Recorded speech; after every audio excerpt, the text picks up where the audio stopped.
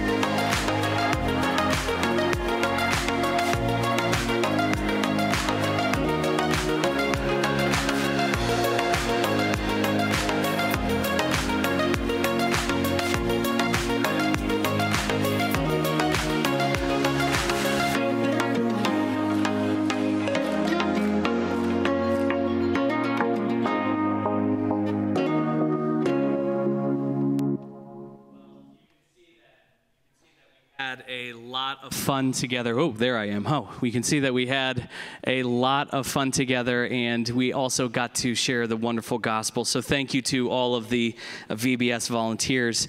Um, just so you know, if you didn't know, new life stage classes started today. They're up on the screen. In Adult 1, we did How to Study the Bible. Adult 2, Christians in the Workplace. And Adult 3, The Promises of God. And we've only gone through the first session, so you haven't missed too much. If you'd like to join us next week at 9:30, please come.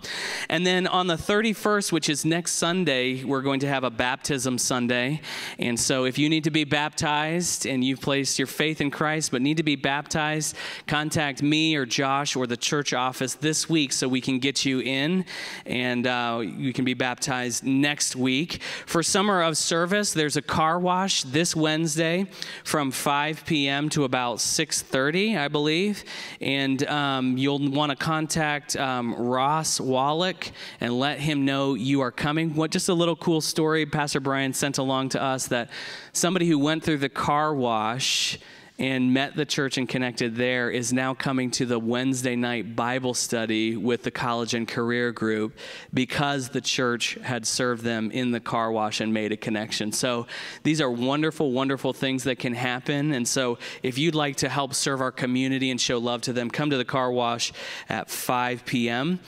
Uh, tonight, there we're continuing our summer uh, PM series in First John. Tim Pulver is going to be preaching. After he gets done preaching, we're going to have a fellowship time together in the fellowship hall. There will be pizza, which if you haven't signed up yet and you're coming, you need to let us know ASAP. And board games or card games. You bring whatever makes your heart happy. Okay, Settlers of Catan, Ticket to Ride, Dominion, Rook. Uno, okay, sky's the limit. Whatever you want, you bring tonight. And maybe we could get some kids' games too. If some of you parents with kids, you could bring your games as well.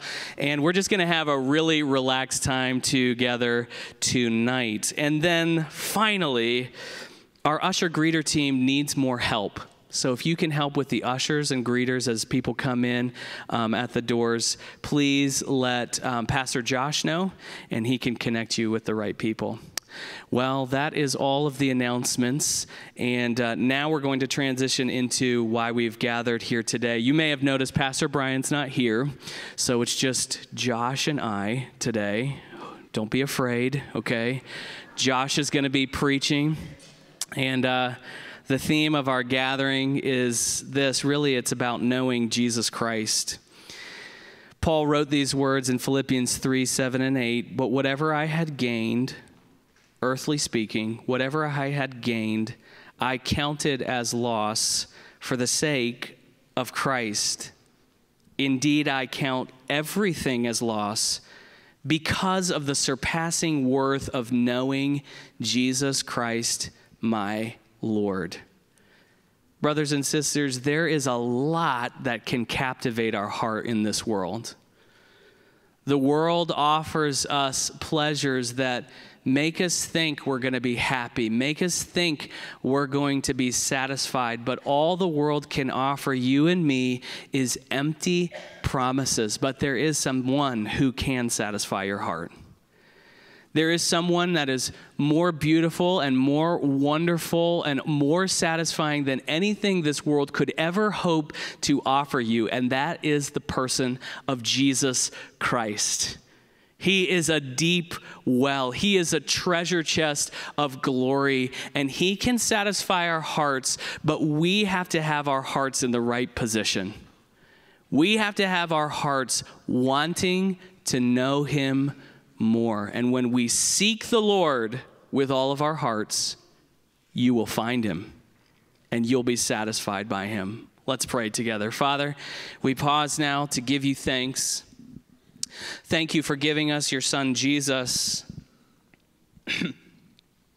In him are hidden all the treasures of wisdom and knowledge. He's the only one that could fill that God shaped hole in our heart that we keep on trying to fill with other things. Lord, I pray that you would help us today to remember once again that all that glitters is not gold that this world is peddling It's, it's treasures in front of us that are really fool's gold, that never end up satisfying our deepest longings. And Lord, may we remember Christ, who in Him is hidden all the treasures of wisdom and knowledge. In Him is the surpassing worth greater than everything and anything we could hold dear in this world. Lord, may our hearts seek Him May he be lifted up today as we sing together, as we pray, as Josh opens the word. Lord, open our hearts to behold wonderful things from your law. And I pray that you would satisfy us this morning with your steadfast love, that we may rejoice in you and be glad all our days. And it's in Jesus' name I pray these things. Amen. Well, let's all stand together, and we're going to begin by singing Rejoice, the Lord is King.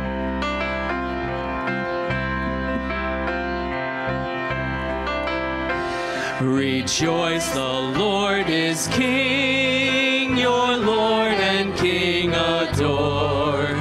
Rejoice, give thanks and sing and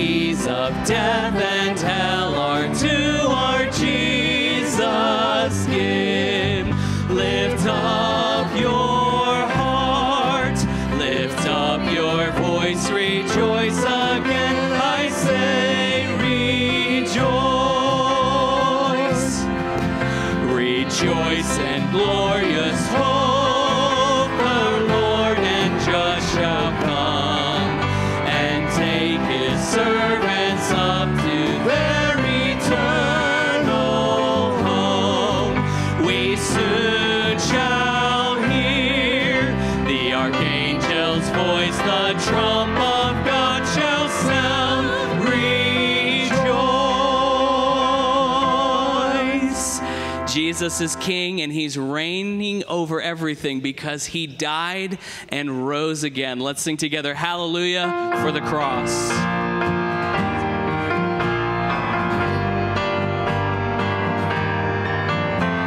Up to the hill of Calvary, my Savior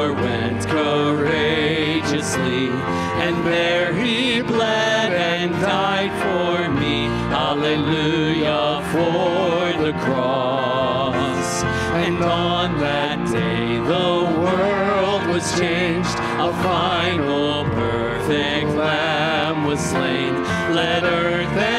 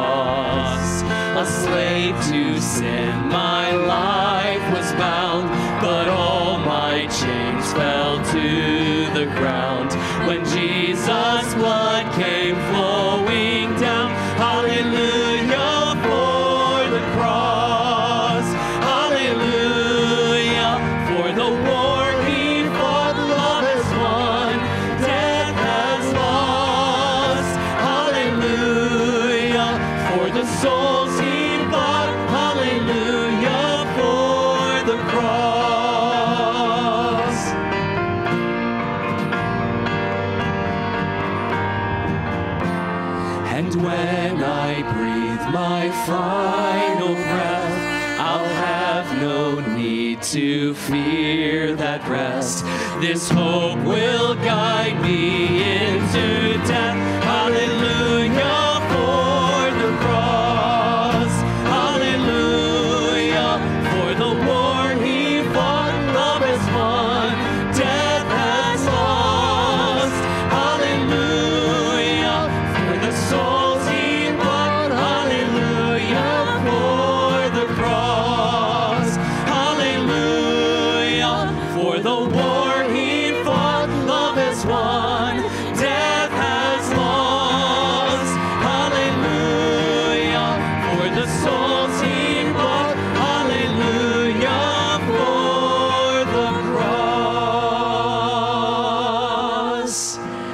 is the cross of Jesus that dealt with our sins. It is his resurrection that gives us new life, new desires to know him more. Let's sing together. I want to know you.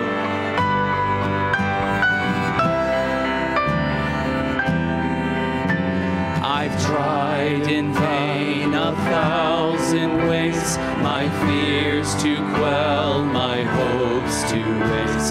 But what said.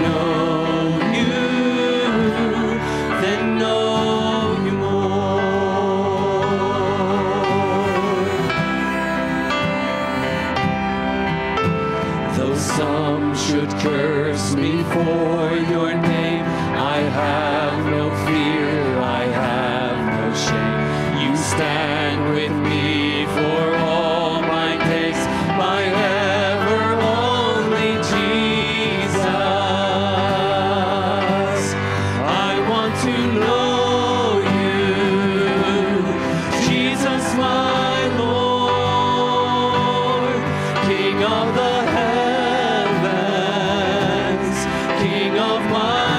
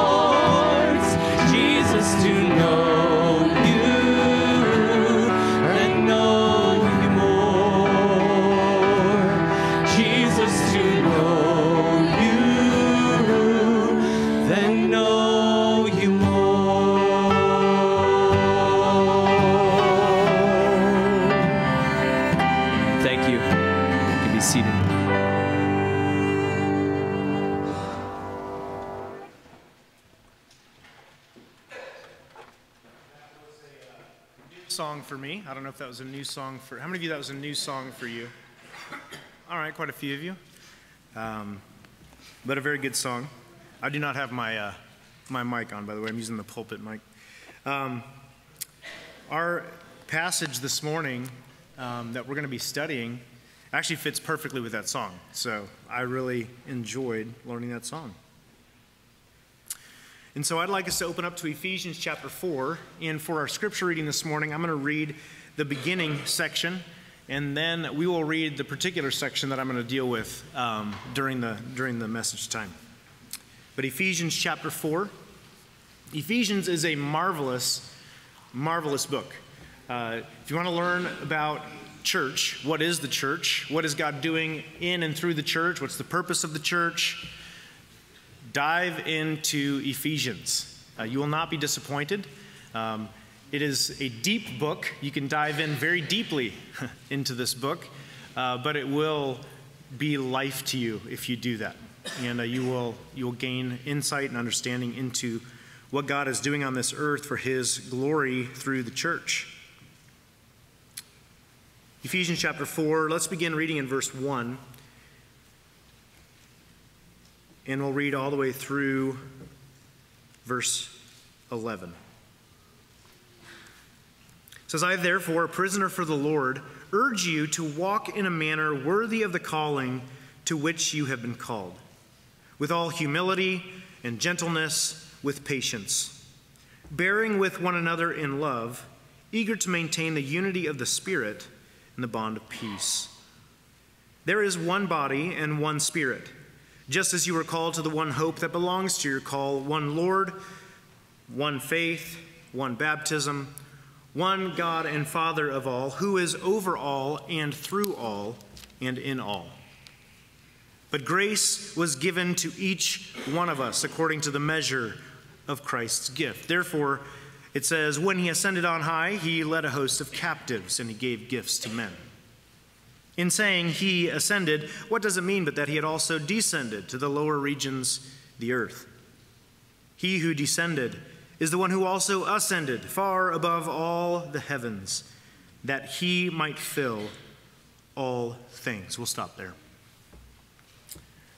Would you pray with me this morning that the Lord would use this text of Scripture, Ephesians chapter 4, to equip us, to change us, to transform us, and help us be a healthy, unified, and maturing body of believers? Let's pray together. Father in heaven,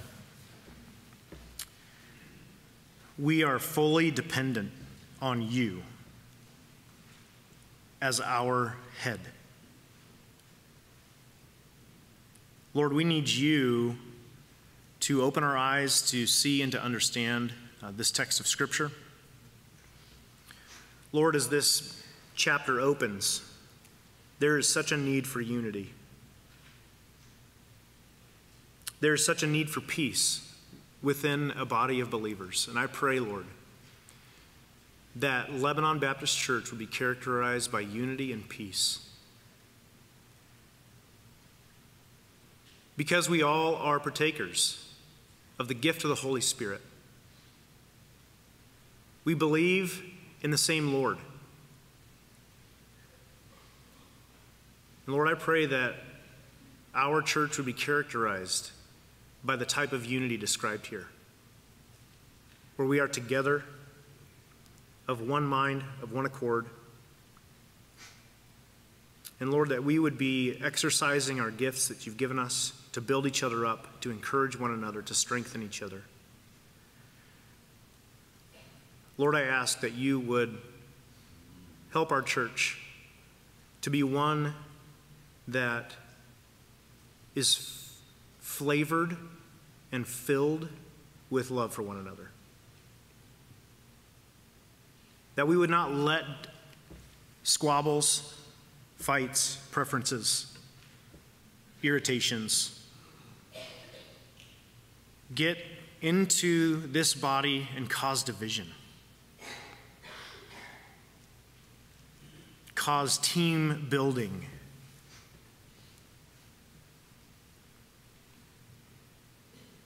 Cause bitterness and frustration, gossip, slander. But rather, there would be an eagerness amongst all of us to maintain unity to maintain peace. And Lord, we need that through your Spirit. We need that by your grace. You've gifted us so that that's possible. You've gifted us to be a, a gospel centered, Christ honoring, loving community of believers. So I pray that you'd help us to grow into that maturity. Lord, we need your grace for this.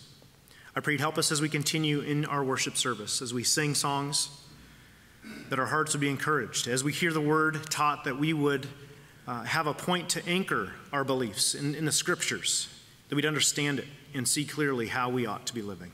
We ask this in Jesus' name. Amen. Let's all stand together. Our final hymn is going to be All I Have is Christ.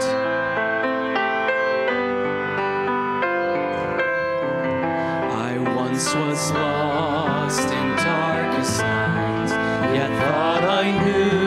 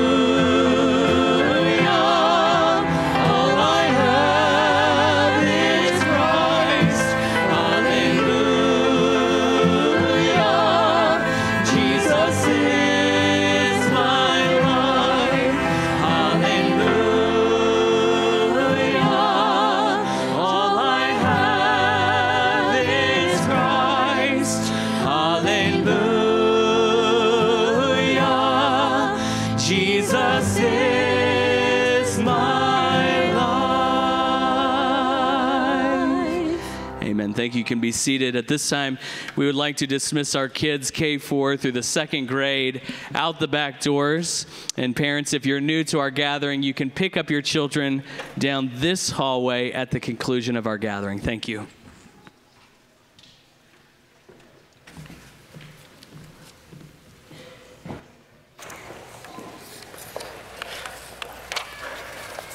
Well, good morning. It's good to see you all this morning. I'm glad you all are here. Because if you weren't here, I wouldn't be here.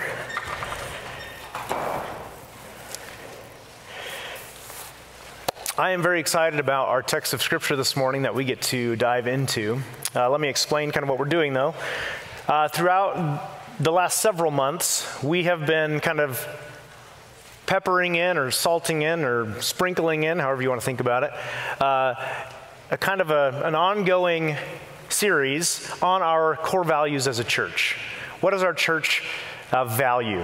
And we've hit different aspects of those core values. Uh, and that series was entitled Embracing Our Mission. And um, our mission, just to review, this is great to review, we probably can't say it enough. Our mission is to make disciples of Jesus for the glory of God. Okay, that, that's why we're here. That's why we exist, is to make disciples of Jesus for the glory of God. So, our values then are the biblical priorities we must embrace in order to fulfill this mission. Okay, so what are the priorities that we as a church need to fulfill or need to have in order to see this mission realized? And that's where this series has come in to show you those. Uh, in particular, though, the foundational value is biblical truth. Because we want all of our values to come out of that. We want all of our, our priorities to come directly from Scripture and not just, uh, you know, how to grow a business or how to grow a small, you know, group of people into a, you know, and, and, and make progress in developing, you know, who knows what. We really want it to be from the Bible, and it's related specifically to his Jesus' church, okay? So, biblical truth, we want all these values to come out of that. And so here's kind of an overview. I don't know if, you can read all those, they're kind of small. But here's our other values. So, along with biblical truth, we have corporate worship, uh, constant prayer, committed discipleship, spiritual unity, faithful stewardship, and intentional evangelism.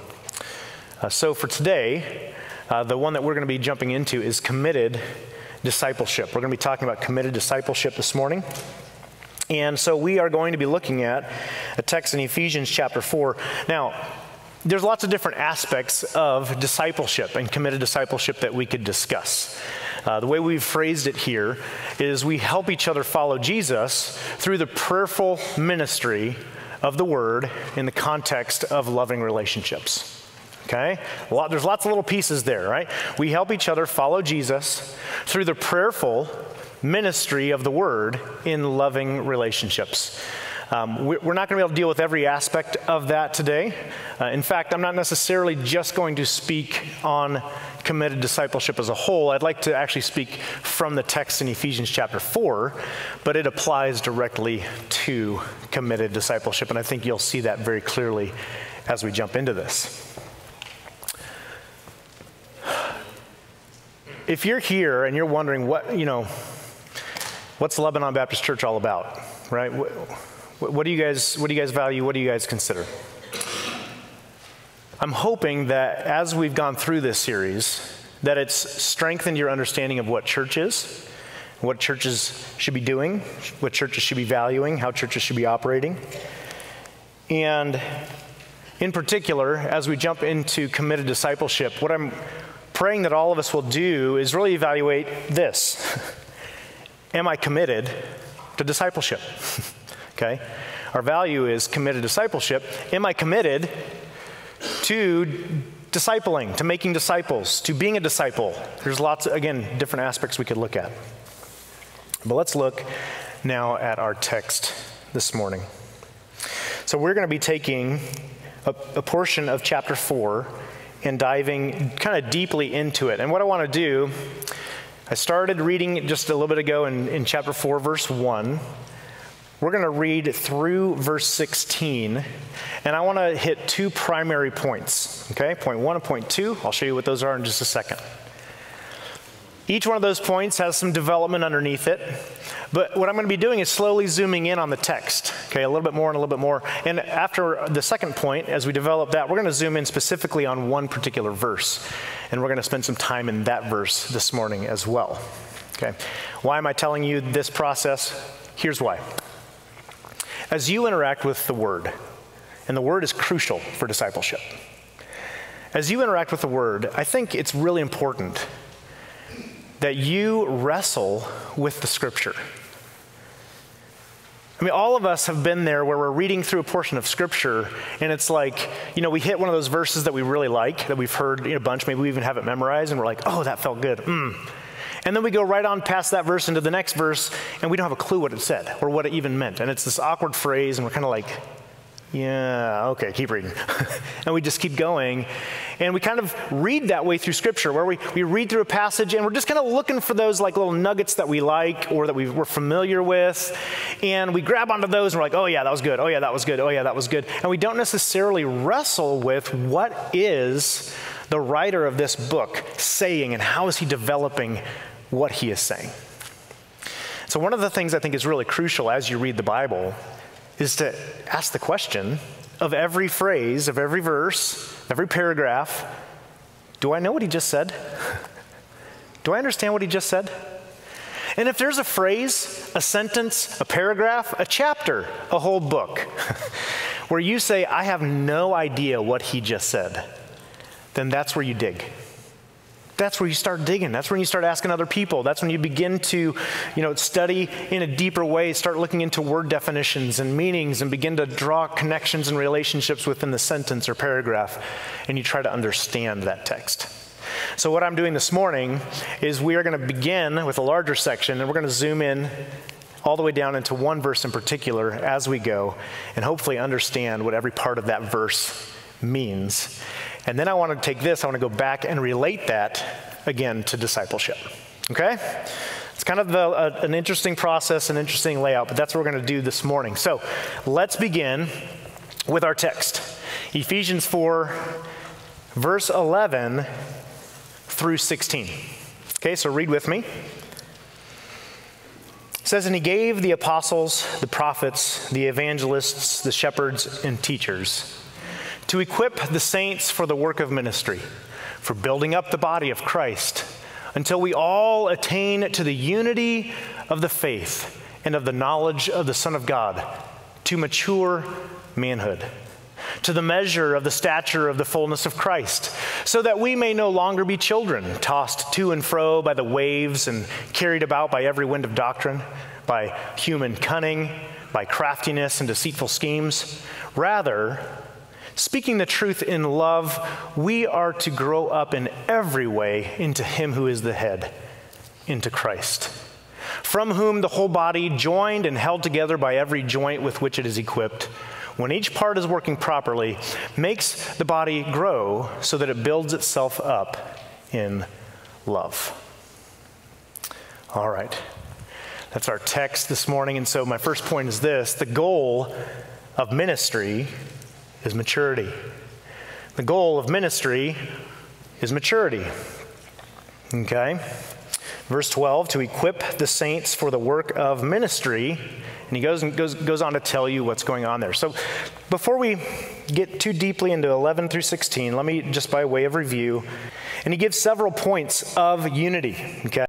If you notice in verse 4, or 3 and 4, verse 3 says, We're eager to maintain the unity of the Spirit and the bond of peace all of a sudden there's this word one that shows up a whole bunch of times, right? There is one body and one spirit, just as you were called to the one hope that belongs to your call, one Lord, one faith, one baptism, one God and Father of all who is over all. So this idea of one it, it's, it's highlighting the necessity of unity.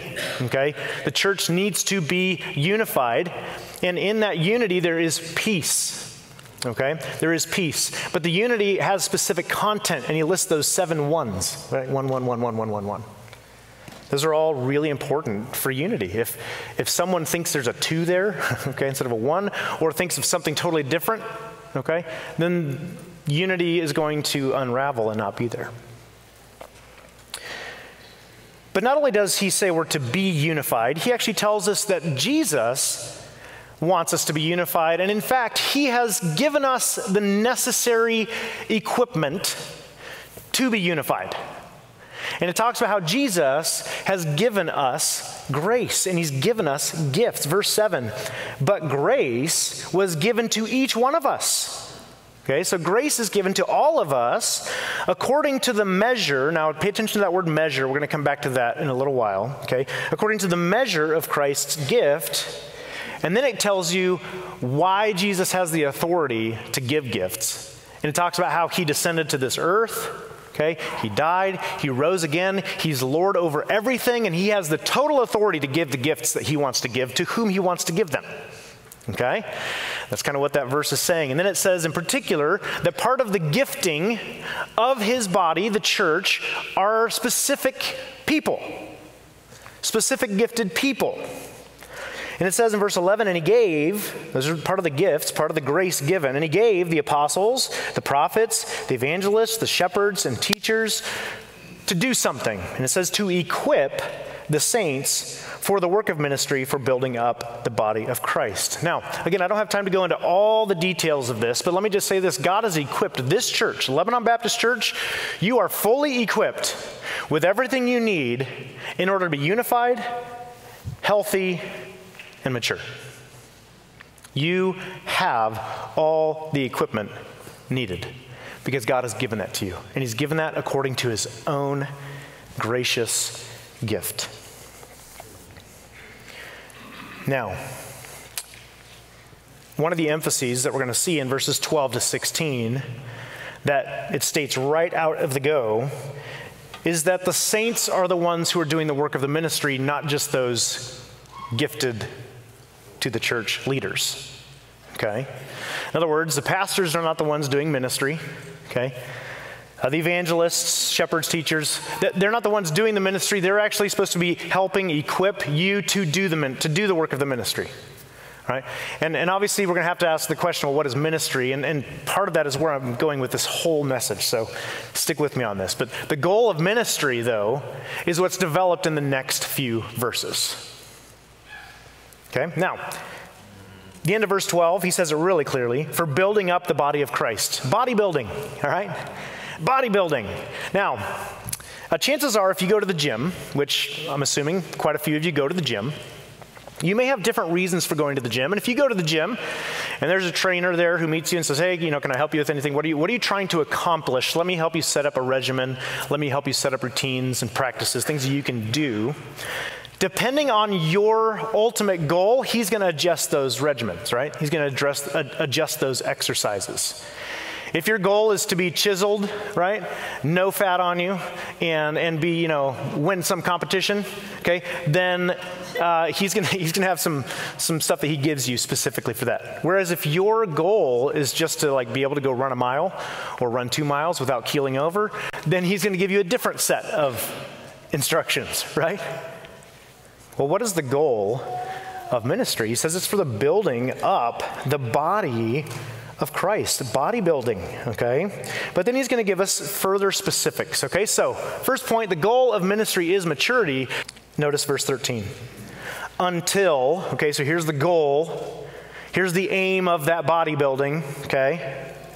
Until we all, we all attain to the unity of the faith and of the knowledge of the Son of God to mature manhood. Right, there's, you see all three of these positive aspects right there. So let me go one by one through them. So, until we attain to the unity of the faith. All right. So, the aim of this bodybuilding is actually that all of us, all of us would have the same faith. Okay? Now, this is not saying the same uh, strength of faith, okay? What it's saying is it's saying the same content of faith. Right? That we would all have our faith in the same one Lord, one God and Father, that we would have our faith in Him. So, part of maturity, a mature congregation, a mature body of believers, they all are coming to have the same faith. All right? That's a mature group of people, is that they have all come to have the same faith. That's really important, right? So God has equipped the church. He's equipped them with people who are supposed to be helping train and, and, and, and teach, but then the whole body is supposed to be building itself up so that we all have the same faith. It's one of the aims until we attain to a unity of the faith. That's the first one. The second one he says, and of the knowledge of the Son of God. This is why I thought that song, that new song we just learned was, I mean, it was just like, it was basically a prayer saying, I want to know you more. I need to know you more. The gospel of Jesus Christ is an absolute essential if this church is going to be a healthy church. And when I say the gospel of Jesus Christ, I don't just mean doctrinal statements. Okay?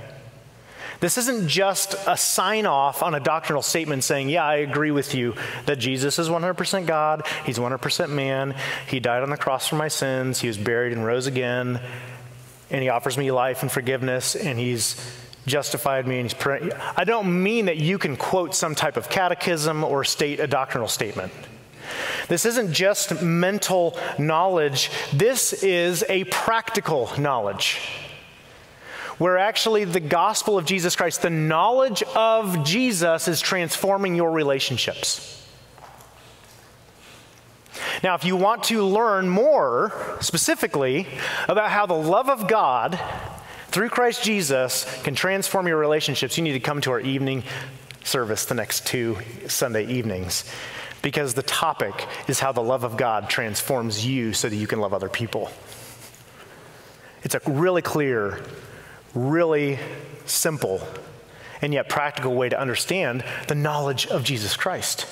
Okay? So, we're supposed to all attain to this, to, to, this one faith, a unity of faith, but then also a unity of the knowledge of the Son of God. We need to be digging deeper. What does it mean that all I have is Christ? Is that really all I have? And is that really all I need? Is that all I want? Or do I want other things? Knowing and understanding what Jesus has done for you is crucial. It's going to help you be able to forgive your spouse it's going to be able to help you be able to make right choices with your money. Right? The gospel changes everything. Do you know how that works? Do you know how the gospel changes everything? Or do you just come to church kind of hoping someone's going to feed it to you and say, you know, tithe? Oh, okay, I need to tithe. Uh, what amount? What amount should I tithe? 10%. Oh, okay, all right, 10%. Done it. Wait, do you know how the gospel influences your giving? The grace of Jesus Christ given to you affecting your giving?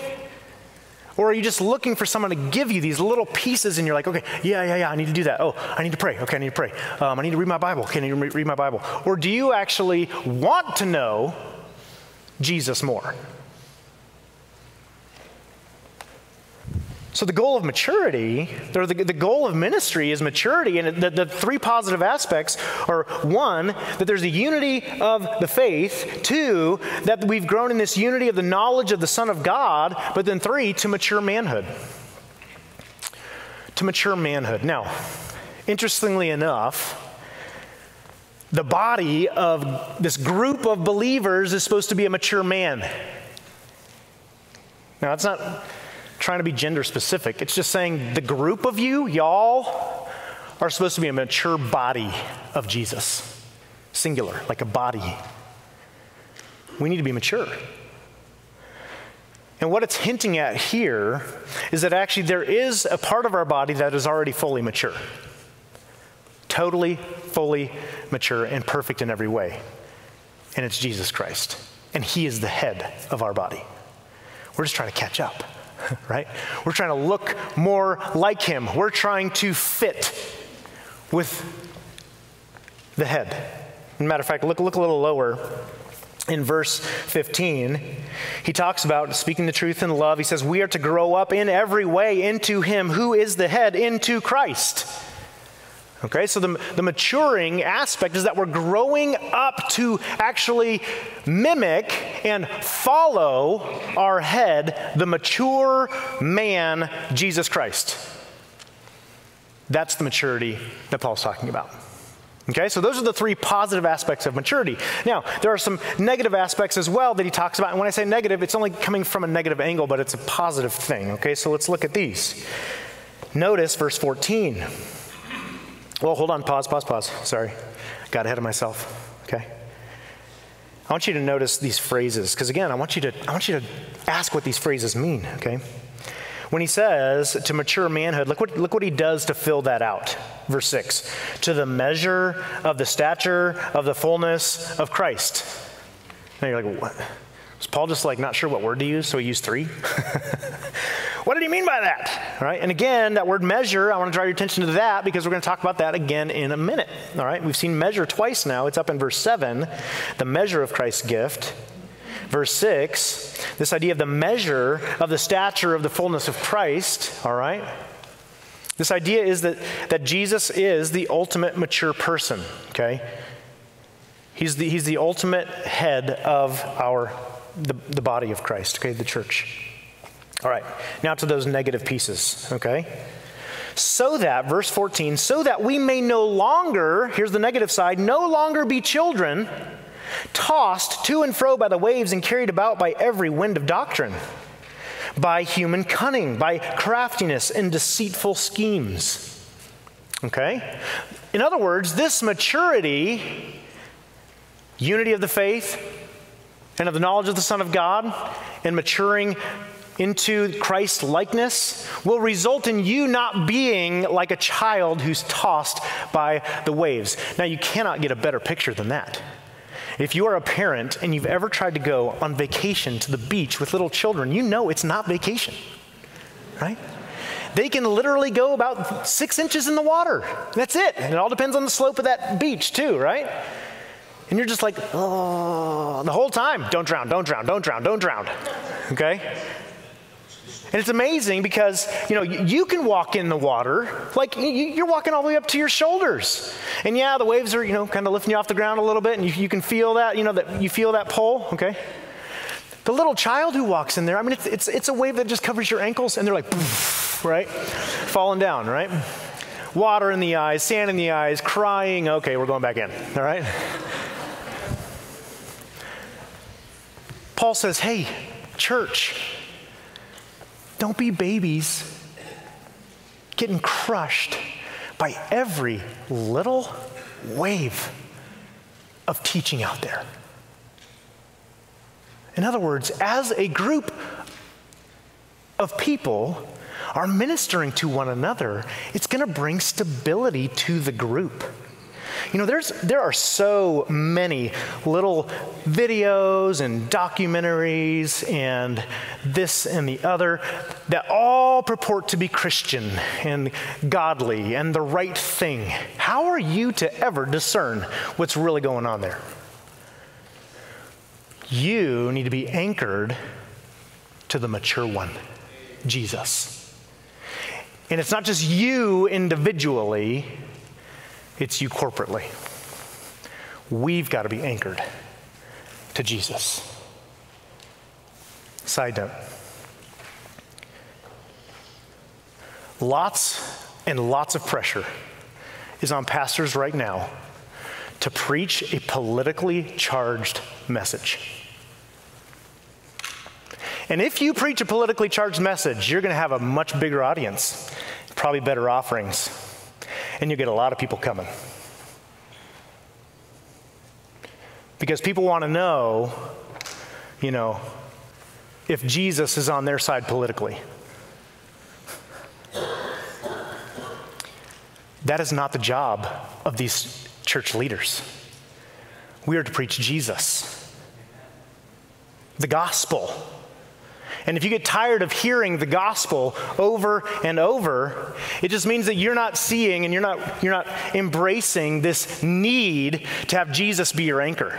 You're looking for something else to hold on to, something else to identify yourself with.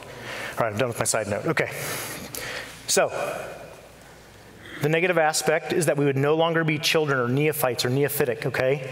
Tossed to and fro by the waves and carried about by every wind of doctrine. I'll say one more thing about this, and that is do you catch when people use scripture wrongly? Do you catch that? Do you take note of that? Not, not in like a judgmental, like harsh, you idiot way, okay? Not like that, like, oh my word, you're so ignorant. You don't know the context, okay? I don't mean like that. But do you just note when someone's using scripture as leverage or force to get their own way and to do their own thing. Can you pick up on that? Do you see that? What do you do with that? That's one of the calls of maturity is that you would exercise discernment. discernment. And that's one of the other negative aspects here, right? So not only are you not like blown around and just dis- destroyed by these waves, but when deceitful schemes, when human cunning comes into the game and they begin to take this truth and they begin to twist it or make it fit their own priorities, you're aware of it. And you know what to do with that because you are strongly connected to Christ through a local body who is building one another up according to the one faith and the knowledge of the Son of God. And that is what we're passionate about.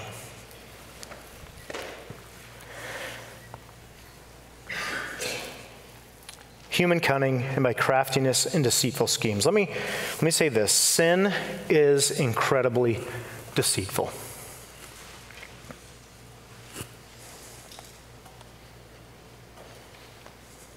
And the only way we will make it as a church body is if we are sturdy, steady, mature believers. Okay? So, again, to this first point, the goal of ministry is maturity. Do you see that? Do you see that from the text? Am I making that up or are you guys seeing that? I want you to see it. Don't just take my word for it. Don't walk out of here and go, Pastor Josh said the goal of ministry is maturity. Must be true. Look at the text. It's like he's just saying it over and over and over. In fact, one of the commentaries I was looking at, it, it would take all of these phrases and say, this is the immediate purpose, and this is the ultimate purpose, and this is the main goal, and the immediate goal, and had all these, you know, ideas of goal and purpose because it's all over through this text. What are we trying to do? We're trying to grow, attain unto unity of the faith and of knowledge of the Son of God, to mature manhood, growing up into the, to, to the head who is Jesus Christ, not blown about by every wave, not trapped and tripped up by deceitful schemes and human craftiness. Rather, there's something else that happens. Verse 13, or excuse me, verse 15. Here's my second point growth towards maturity happens as each member exercises their gift in love. Okay? Growth toward maturity happens as each member exercises his or her, their gift in love.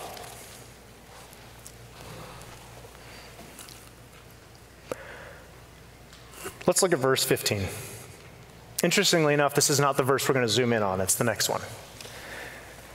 So, rather, it says, speaking the truth in love. You know, it's amazing. When it comes to believers exercising their gifts, there, there, there is a lot of focus on spiritual gifts. There, there, has been. I mean, I remember when I was a kid, you know, our whole church taking like, you know, spiritual gifted tests. You know, where are you spiritually gifted? And, and I'm not disparaging those things and saying those things are worthless or anything like that.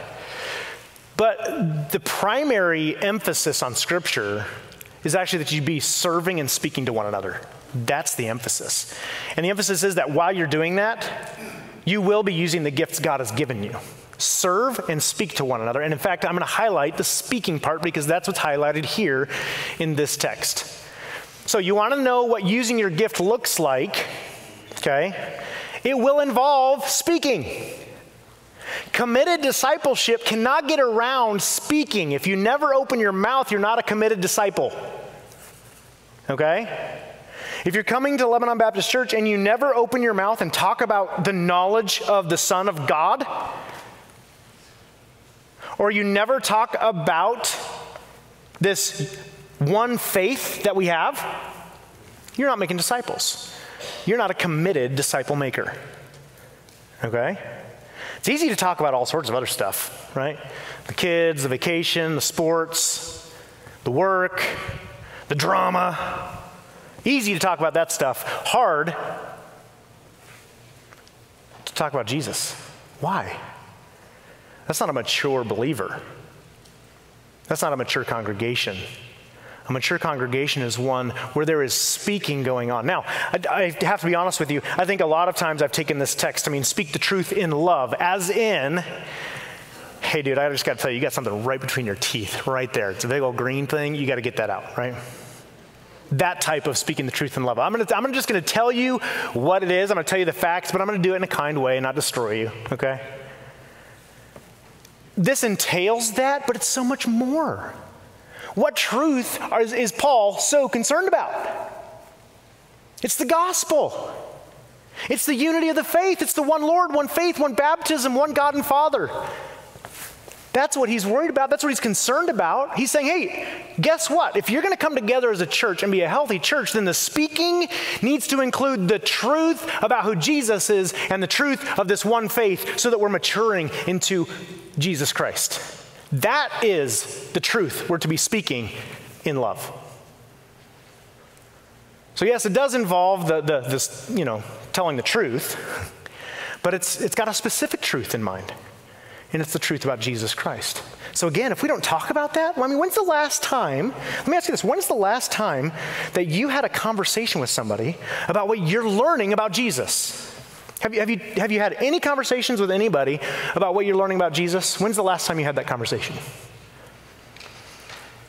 If you can't think about it, if you can't think of when it's most recently happened, are you, are you an active, participating, healthy member in this church? Because this is a we thing. This is a we thing. And if you're not participating, help us. We're trying to be mature, we're trying to grow, we're trying to have unity. And we need you. We need everybody. Now, what I want to do now is I want to zoom in on verse 16 because I think verse 16 kind of gives us some of those how how does this, what does this look like? Like, how can I know if I'm exercising my gift and if I'm doing this right and if bodybuilding's actually happening or if I'm just, uh, you know, drinking, drinking too much water and not actually, you know, putting in the effort to exercise? Like, what's, what's going on here? How do I, how do I know what's going on? Okay. Verse 16 is one of those verses I think that sometimes we read over it and we go, yeah, I think I got that feel, but okay. Oh, that last phrase is great. Building itself up in love. Woohoo! But sometimes we kind of go, uh, yeah, okay. Not sure what to do with all that. So let's wrestle with it for just a little bit. Okay? So, I'm going to read verse 15 just to ramp us into it. Rather, speaking the truth in love, we are to grow up in every way into Him who is the head, into Christ. We talked about that. From whom, right? Connect that with the word previous. From whom the whole body, joined and held together by every joint with which it is equipped, when each part is working properly, makes the body grow so that it builds itself up in love. All right. There's at least six things in this verse that we can, we can dissect, okay? And we're going to do this for the remainder of the time and then we'll finish up. All right, focusing in on verse 16. From whom the whole body, joined and held together by every joint with which it is equipped, when each part is working properly, makes the body grow so that it builds itself up in love. Okay, how specifically does this look? What, what does this look like? Number one, Jesus is both the source and the aim.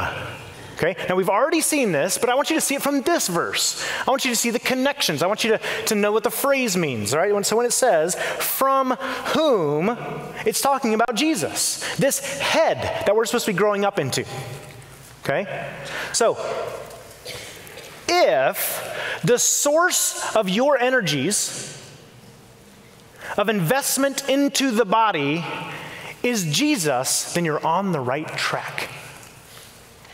And if the aim, if the aim of your investment is Jesus, then again, you're on the right track because it's from whom? It's from Jesus that this growth happens. And it's to Jesus that this growth happens. You might have all sorts of other reasons why you want growth to happen for your own benefit, to make it easier to be here because maybe pe- people could be a little bit more like you and you wouldn't quite feel quite so odd? Or are you more concerned about being like Jesus? Okay, from whom? This, this working effort, this, this, this energizing, this ministering to one another has to come from Jesus. He's the source, all right? The source of our efforts. Next. It says the whole body, from whom the whole body, right? So the whole body is in focus here, not the individual. Now, please hear me. I am not saying individual growth is bad, but I will say this individual growth that's not shared with the body is immaturity. There is a really big emphasis on personal devotions and personal quiet prayer time and having your own, your own time with the Lord. And you know what? That is wonderful. You need to do that. But guess what? Do you know why you do that? You don't do that so you can feel like you just had this wonderful time with the Lord and it was so sweet. It's actually so that you can go share that with the body and help the body grow and be mature.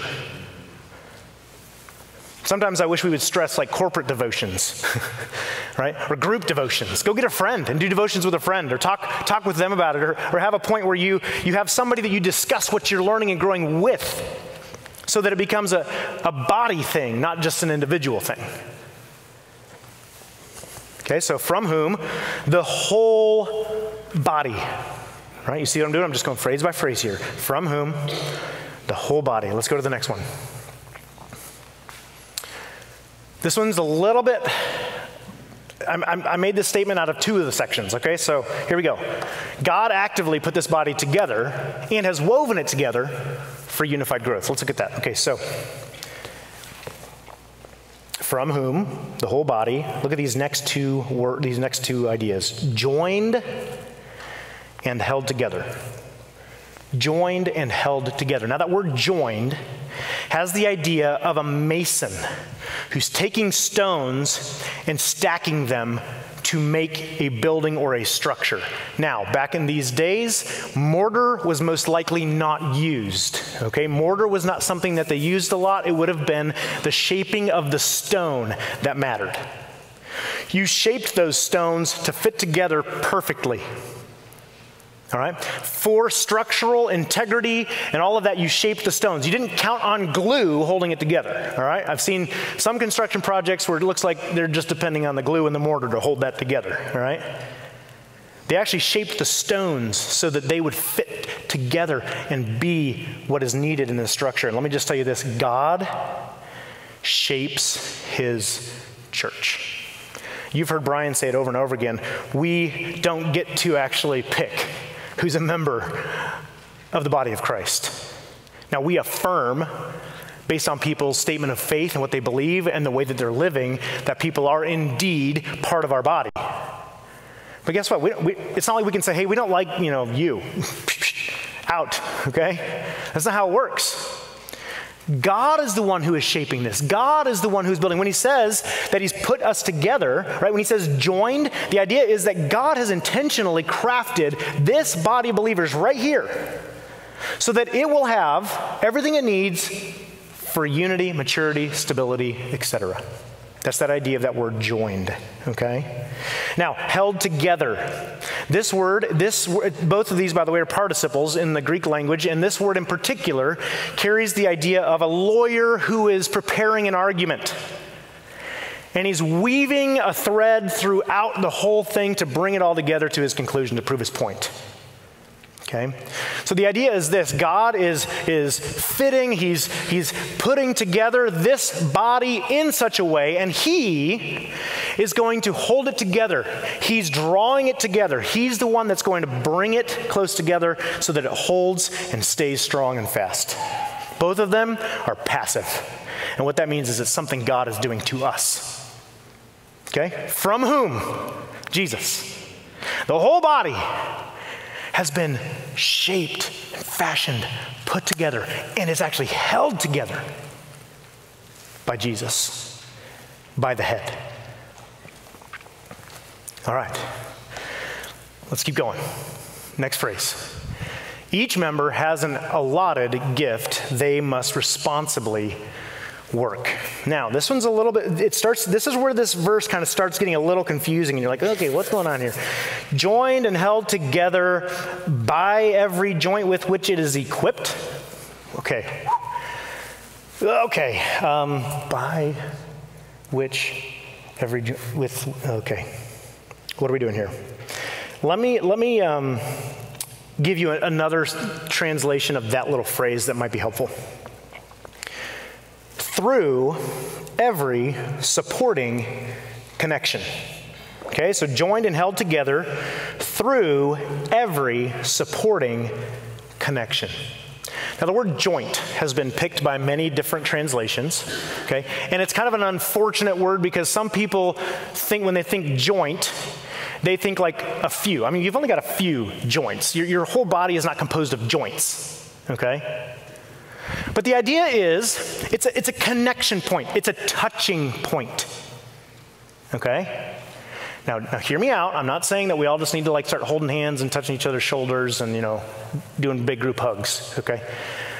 The idea here is that all these individual body parts are going to connect at some point. Connections must be made. If this body is going to be healthy, connections must be made. In other words, there's no such thing as a loner, mature Christian in a mature body. Doesn't happen. So if you don't make connections and you kind of isolate yourself, you pull back, you pull away, you don't want to be connected with people, you don't want to have those relationships where people actually talk to you about what's going on in your life, well then hold on a minute. Wait, what, what are you doing in this body? Because this body is supposed to be, is supposed to be with, full of people who are connecting, connecting with one another. So, through every supporting connection, and that, that idea of supporting, it's this word, it, think of it this way like a, like a wife whose husband, it, specifically, this word is used in this context in, in Greek outside of the Bible, but a wife who's supporting her husband who's at war. Okay, so he's away at war, and she's like, I got to support, I got to get him clothes, I got to get him what he needs, I got to support him and as well as us, like our family. And so there's the supporting concept. So here's the idea the idea is that all of these connections that are being made are supporting connections. Like we're connecting in a way where we're supporting one another, we're, we're undergirding each other, we're, we're pushing each other up, we're holding, we're caring for one another while speaking. Because speaking has to be part of discipleship. And so here we are, we're connecting making connections, using our mouths and speaking, all for the purpose of building one another up into maturity, into the knowledge of the Son of God, into one faith. You see it? You see how this is working? Let's keep going. Each member has an allotted gift they must responsibly work. I want you to look at this next phrase Okay? The whole body grows together. Pardon, pardon, me, going back to the number four there. Each member has a lot of gift they must responsibly work. There is another aspect of this, and that is this phrase, okay? When each part is working properly. Okay? When each part is working properly. I like that translation. Let me give you another one. Okay, another one that's the, that also works with the Greek very well, and it's this: according to the working in measure from each individual part. I know that was a lot. Stick with me. According to the working in measure from each individual part. In other words, remember that, that, that word measure I told you to remember? That's in this verse. Okay? Your translation may not show that word measure, but it's in this verse. And so it shows up in verse 7 that Jesus is giving grace to each one of us, every single one of us, according to the measure of Christ's gift. So, in other words, Jesus has doled out measures of gifts to people. He's just given them out, and it's according to a certain measure that He's decided. Okay? We should be using that gift to that measure, is what this is saying. Every individual working in measure with what was given to him by Jesus, okay, according to the working in measure from each individual part. So there is a need for all individuals to engage. Again, highlighting this aspect. I'm, I'm, I'm, I'm not trying to just push on the individual, it's the body, but the reality is this body is made up of a bunch of individuals. It's a unique it's a unique tension we see in scripture is that there's this individual aspect and this corporate aspect all together. We are one and yet many. Interestingly enough, as we do this, guess what we grow up into? We grow up into the measure of the stature of the fullness of Christ. There's that word again. It's kind of unique to see how words are used in Scripture. All right. Now to the next one. The whole body grows together. Look at the next look at the next phrase. So it says when each part is working properly makes the body grow. Makes the body grow. Okay, so if you will be thinking I'm coming from the source of Jesus. Jesus is the source of my life. He's the source of my gifting. The grace has been given to me from Him. Okay? The source.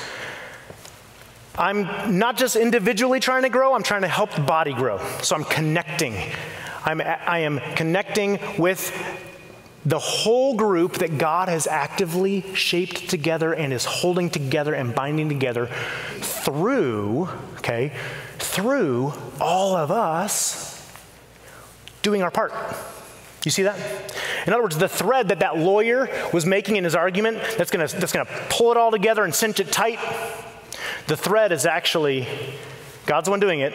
It's the thread, the thread is actually all the individual members using their allotted gift to speak to one another and build each other up into this strong, sturdy, mature body.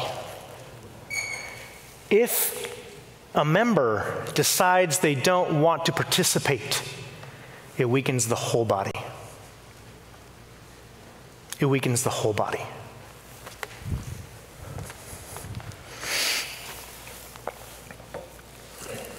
The whole body grows together. And lastly, this all takes place in the context of love. This takes place in the context of love. If love is not in your heart, then be careful how you sp- you probably just shouldn't speak, right?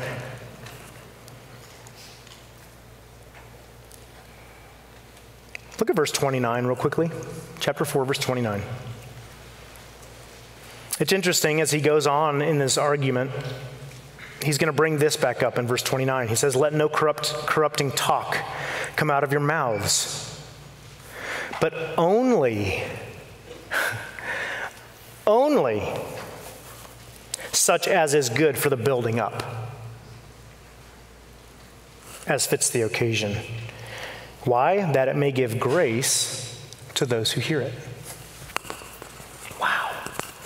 So even here in this verse, just a little, little ways away, he brings in the same concept that our speaking is to be not just any speaking, it's supposed to be flavored in love for the purpose of building up.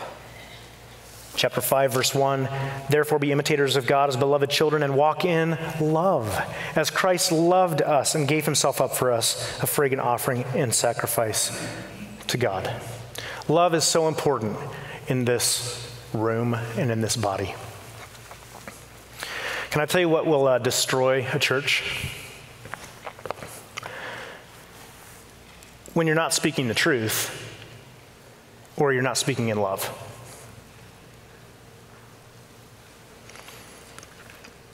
If you're gossiping or slandering, you are going to disintegrate the unity of this church and the health of this church.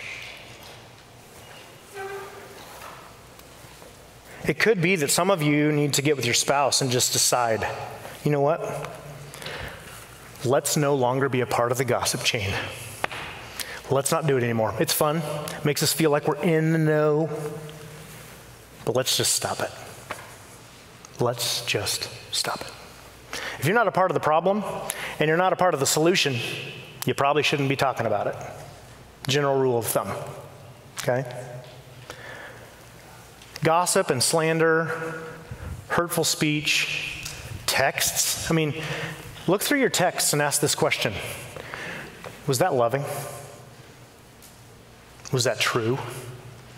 Or was I coming to conclusions and actually assassinating someone's character because I wasn't loving and I, was, I actually didn't know the truth. Speak the truth in love. And in particular, remember what this truth is the truth is about God, the Lord Jesus Christ. So, we need to be people who, in a context of love, speak the truth because of what God is doing. God is doing something amazing with this body of people right here, and He's fashioning us and shaping us. As we speak the truth in love, as we do this, exercising our gift, He's going to cinch us together for stability and maturity so that we grow and we won't be tossed about by everything. Instead, we'll grow up into maturity into, the, into, the, into our head, who is Jesus Christ. My favorite commentator on Ephesians, Harold Hoehner, said this. He said, The ministry of the church is not the obligation of a few, but rather the responsibility of every believer. Guess what? All of us, we got to get involved in this. Let's not be on the sideline saying, Go, go, go, minister, minister, minister. Let's also not be like, Hey, pastor, you should be the one ministering. Why aren't you ministering to me? Come on. Instead, you engage, you jump in. The Bible doesn't say, Go find a discipler. The Bible says, Go make disciples. Let's engage in ministry. Let's engage in speaking the truth in love to one another and see the maturity of our church. So, what will this mean our church prioritizes? Well, I just put down three things that are all really important. Number one, again. Number one, the preaching, teaching, and application of biblical truth. Okay? When I say prioritize, I mean prioritize. Number one, number one, and number one. Okay? So the preaching and teaching and application of biblical truth. That's what I know your pastors are going to give their hearts to that. Okay? We're going to give our hearts to making sure that we are preaching and teaching biblical truth and not just, you know, putting our finger to the wind and saying, hey, which way is, Christ, you know, cultural Christianity going? Let's follow that so we can keep a crowd. No, we're going to try to preach and teach the gospel. Also, gathering together in smaller groups to facilitate speaking the truth relationships. Okay? That's kind of a weird way to say that. But you know what? Speaking the truth in love is hard to do just right here in this room. It does happen, and I'm, and I'm glad it happens, and it needs to happen. It needs to happen more. But it shouldn't just happen in this room. This should be taking place over lunch, dinner, play dates, game nights, all sorts of interactions. Every time you connect, connect, that idea of supporting connections. When you connect, you speak the truth. So let's gather together somehow into smaller groups. Okay, now we do have small groups some Bible studies, ladies' Bible studies, men's Bible studies, we have growth groups. And all these are, are to facilitate okay, discipleship relationships. They're to provide that support and care, and then to facilitate these discipleship relationships that can be ongoing within the body. And then also the loving unity of the whole body. We've got to promote the loving unity of the whole body because it's within that context that this all happens. It's the greenhouse of where loving and speaking the truth happen, growth happens. All right. Let's pray together this morning. And let's let's go to God and let's ask him, okay, are we are we committed disciples? Are we committed to discipleship? Let's pray. Father, thank you for your word this morning. Thank you for the book of Ephesians. Lord, it's challenged my heart. I pray that it's challenged our church. Lord, I ask that you would help our church to grow into maturity, that we would not be blown about by every wave, knocked around by twisted doctrine, by cunning human craftiness but rather that we would speak the truth in love with one another, build each other up, stabilize one another, and see you doing a great work within our body. Lord, we need you. We need you to do this. You are the head from whom all of this happens, and to whom all the glory belongs. Now, to him who's able to do far more abundantly than all that we ask or think, according to the power at work within us, to him be glory in the church and in Christ Jesus throughout all generations, forever and ever. Amen. Thank you so much for coming this morning. You are dismissed.